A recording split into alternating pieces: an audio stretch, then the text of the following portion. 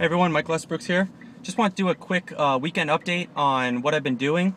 Uh, so on Saturday I went down to West Chester to do a little bit more networking and to work on my upcoming business that I'll be disclosing. Actually, might actually disclose it today in this conversation uh, with John, one of my business partners. Uh, Chris couldn't make it uh, this weekend.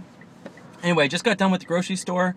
Uh, it's Sunday and I just picked up $139 of groceries to make uh, smoothie videos for maximum-evolution.com. It's getting pretty exciting right at the moment, and I have about 45 recipes up online. Still working on about 10 to 15 per day. Uh, my plan this week is to record 25 videos and edit and upload them. So look forward to those. If you want to check out my YouTube channel, it's www.youtube.com slash user slash the maximum evolution. Um, I will be posting smoothie recipes, uh, sandwich recipes, salad recipes, and we'll also be posting some information on uh, what the benefits of certain foods are, benefits of eating organic. So if you want to keep up to date with that, check out that uh, my YouTube channel. For uh, personal side, I will be uh, day trading this week. I will have about five days uh, before my girlfriend gets back, so I'm gonna try to take advantage of that and make some extra money. Um, that's still my big money maker at the moment, and it brings in the biggest uh, biggest amount of money per day, uh, per week at the moment. Whenever I have time to focus on it, so I took the last couple weeks um, to focus on my my blogs, my YouTube channels, getting some videos, pictures, getting lots of content written, and so now I'll be back to day trading. That's going to be pretty exciting. My plan is to aim for about three thousand dollars this week.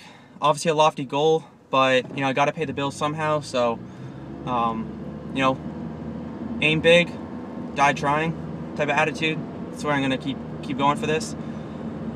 And now to actually talk about my, my new business opportunity I'm working with John and Chris on. Uh, one of the things I want to touch on with this is that uh, it's still in the works, so we're still uh, trying to lay out the groundwork, work on a business plan. But the company name is Formula Motor Werks. Uh, works is spelled W W E R K S.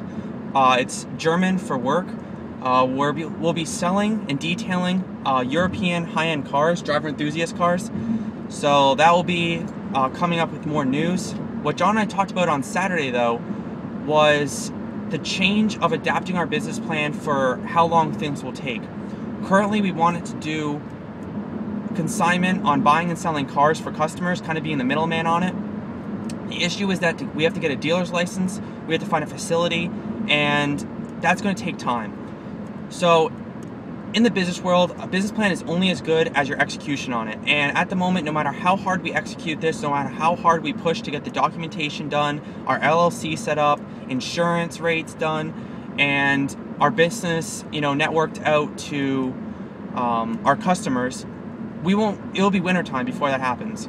So at the moment, we're going to be pushing for our LLC to get registered, get all the documentation set up, and our insurance and we'll be focusing actually on high-end detailing down in the Philadelphia area of Pennsylvania, West Chester, and the Main Line, uh, Phoenixville, just to name a couple cities and areas.